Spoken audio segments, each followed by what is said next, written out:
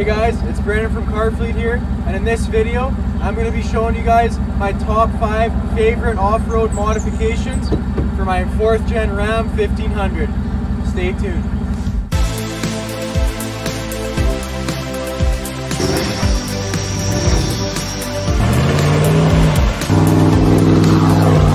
Alright guys, so before we get started into my top 5 mods, I just want to say a quick disclaimer. This is just my opinion and this is stuff that I've personally experienced. Um, different mods that I've tested. This isn't stuff that I think is what is good. This is stuff that I've tested and I have on my vehicle and I think is a good mod. I'm not going to be saying stuff that I don't have, like for instance lockers, just stuff like that. So this is just my opinion, this is my list, and we will jump into the first thing on the list.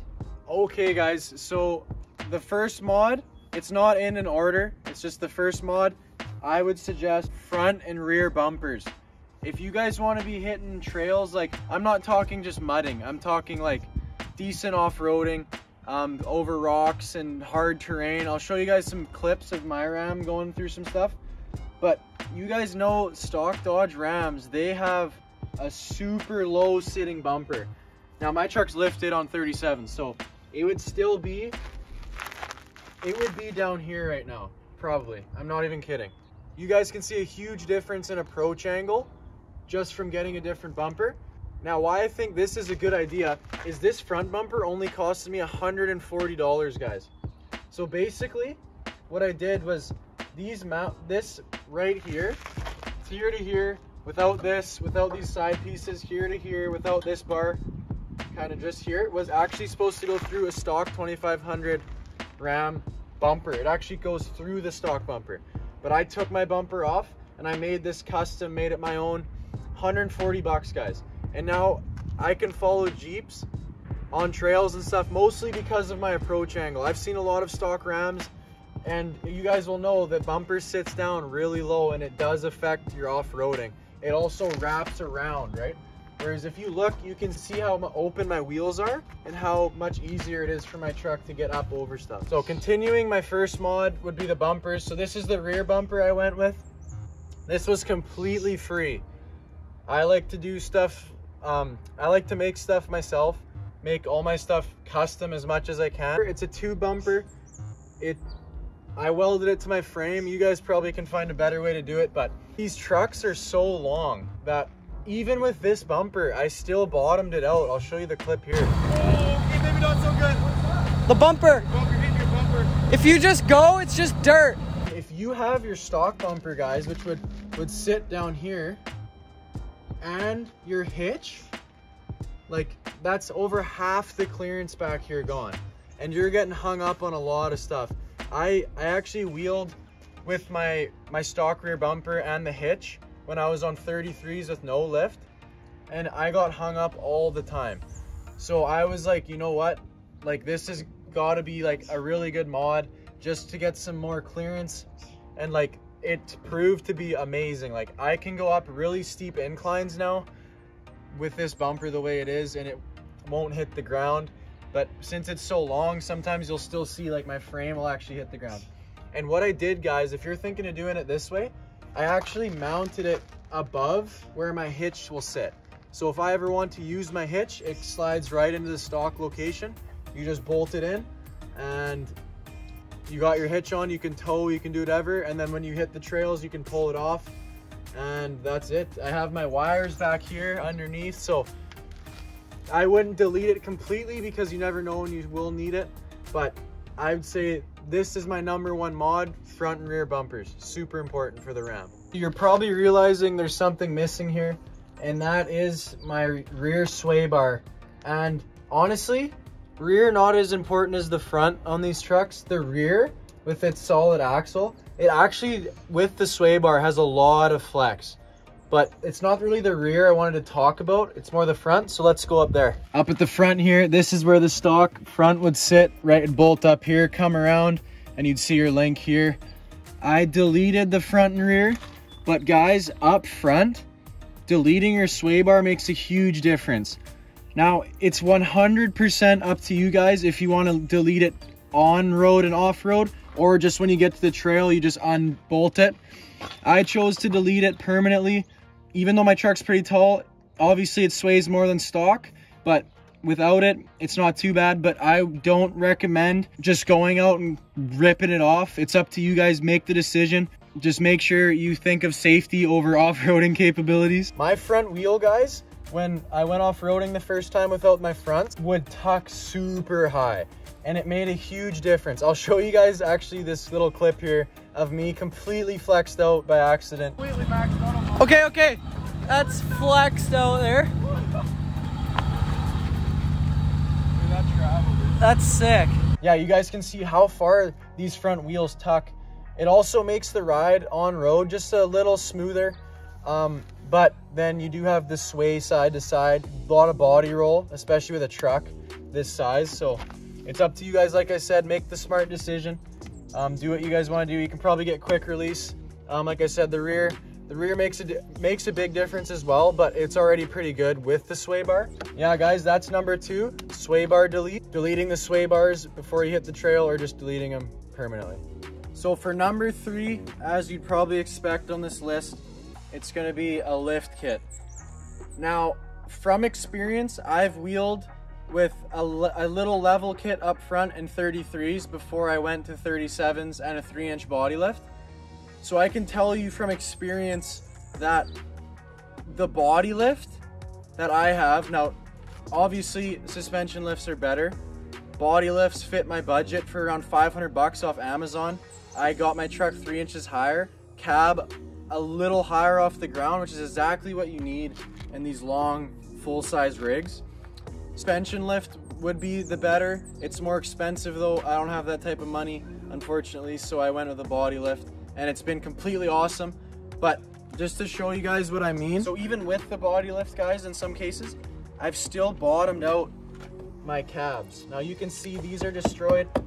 This dent happened with the 33s and no lift, but on the other side, I still scuffed it even with the lift on a rock. I went right over it, scuffed my pinch welds. So imagine if I didn't have the three inch lift in that case, I would be destroyed pinch welds and destroyed corner on the other side.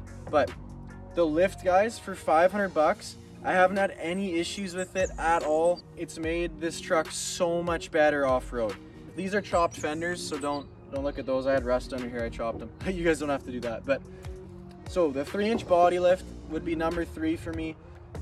I think it did a really good job at making this just that much more capable. Like my buddies have lifted Jeeps, I can still go over more stuff than them just because of how high up it is now. But at the same time, it's not too high. I just got a three inch body lift. I believe I have a slight level up front, but it's not like a monster truck. It does really well, sidewalling and everything. I'm not worried about rolling over. The one thing that caught my eye, guys, with these body lifts for the Ram is how it actually underneath in terms of seeing your pucks and stuff they're completely hidden. It's really shocking because these fourth gen rams the body lifts like you can't see them at all. Obviously i've chopped my fender liners you can see them now but you can't see them if you're running stock and i think that's really cool. Yeah you guys can do the research on the body lifts you guys know about them um, do your own research if you want to get one or not but this is 500 bucks and it's got me crazy far off road but in terms of budget, this is a budget build. Um, super budget build. I don't have much money to be spending on rigs and stuff. So I try to do as much as I can myself and try to go the cheaper route. So body lift guys, number three.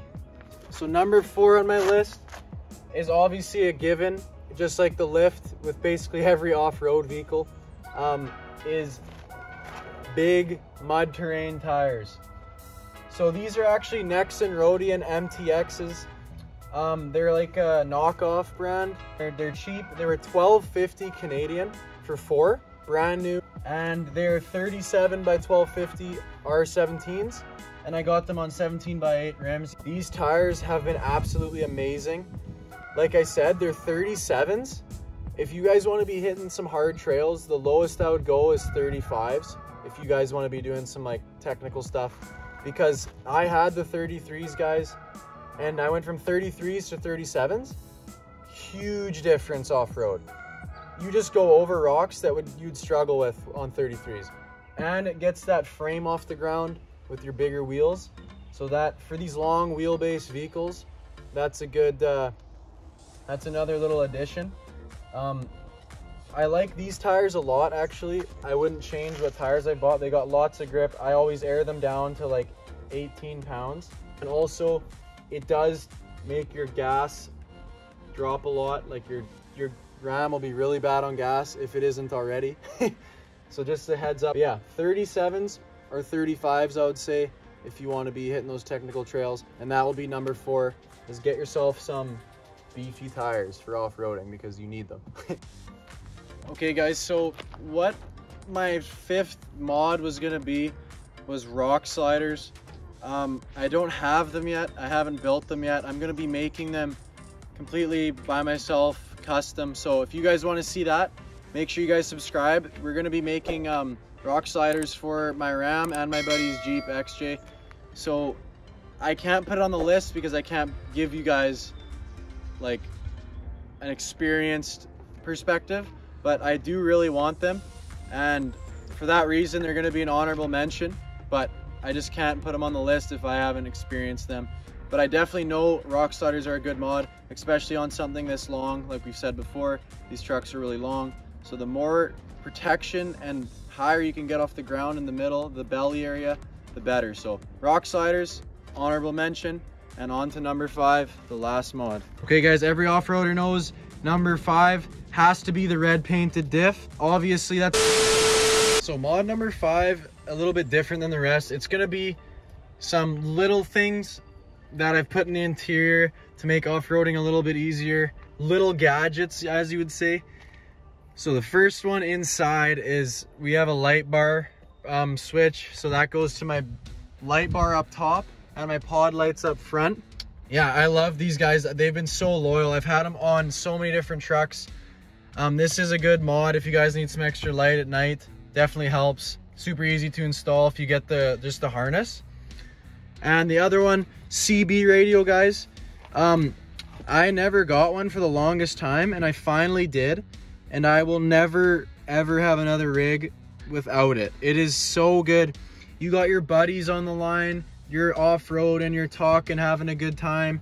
You're you're using it for safety things like some guy flies around a corner on an FSR telling your buddy, hey buddy, watch out, guy's coming around hot so he can brace for impact and just stuff like that. These are super handy. This one was like a hundred bucks and I have a PA speaker in my hood so I can talk to everybody outside. It's like a little, that one's fun to use as like a little party trick. but yeah, CB radio guys, another little gadget in the interior. And the next one last but not least would be a little clinometer. It's nothing major. It's not going to make you the best off-roader in the world, but it is a little gadget. It looks really cool and it gives you some information on what's happening with your vehicle.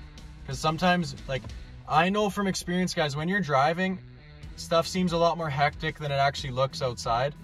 So just a little gadget like that doesn't hurt, 40 bucks. Number five is just gonna be some interior gadgets, some stuff that'll make your life a little easier off-road. Okay guys, that's the end of the video. Those are my top five mods for your fourth gen Ram if you're thinking of off-roading with it.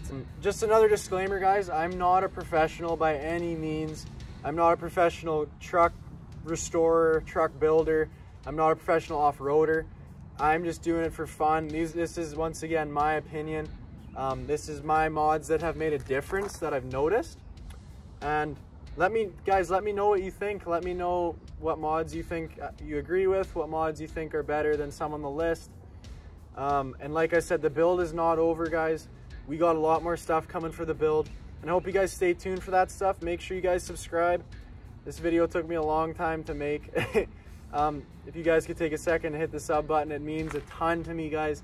And if you could hit the like button to show that you enjoyed the video, if you did. So thank you guys a lot. I hope I'll be seeing you guys in the next video. I have a lot of off-roading videos if you guys want to check those out as well. I wheel this thing a lot. There's a lot of videos on the channel. If you like the build, go check them out, guys, and enjoy those videos too. They're a lot of fun to make, the off-roading videos, and they're actually pretty good wheeling on there. So thank you guys so much. We'll see you guys in the next video. Peace.